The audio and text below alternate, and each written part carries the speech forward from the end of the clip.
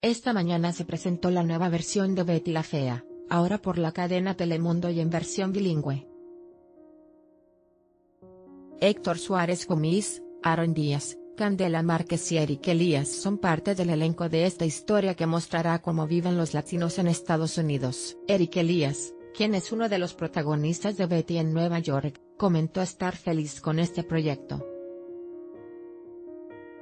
Por su parte, Héctor Suárez Gómez quien da vida a Luigi Lombardi, un personaje divertido pero déspota nos contó, Betty en Nueva York comenzará transmisiones a principios del 2019 y se grabará totalmente en Miami.